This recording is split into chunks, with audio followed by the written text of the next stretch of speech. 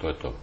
Oko Radončića, to je pitanje e, vrlo zanimljivo. Znate se tu sad koaliciju Radončić-Lagumđija. E, pitam vas... E, koja koalicija? Radončić i Lagumđija. Samo je, samo je još to trebalo Bosni i Hercegovini. Koja je očigledna.